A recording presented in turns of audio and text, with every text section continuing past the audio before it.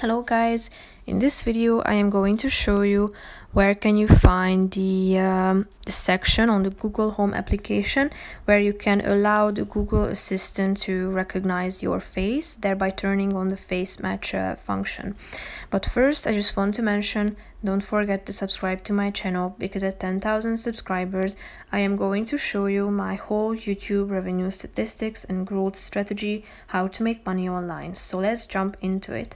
First of all open the application on your phone now click on the settings icon in the middle of the screen. Scroll down to the features section and click on Google Assistant.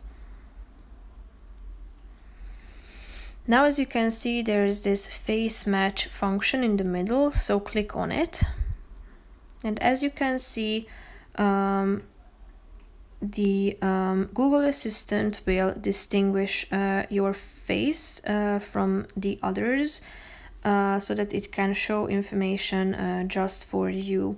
In order to uh, set up the face match function, first you need to add a device in your uh, Google Home application. In order to do that, you need to go back to your home page by clicking on these buttons that you will find in the upper left corner of the screen.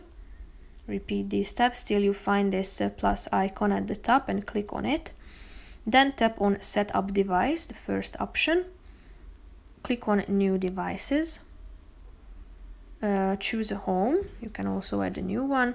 And then you should turn on your Bluetooth in order to uh, set up your device and choose the relevant one that you would like to add. If you have, are done with it uh, go back to the settings uh, Google Assistant face match and then you will be able to um, to set up this function thereby um, the Google Assistant will uh, distinguish and recognize your face. That's pretty much it for this video. I hope you found it helpful. If you did, consider subscribing and see you in the next video. Bye bye.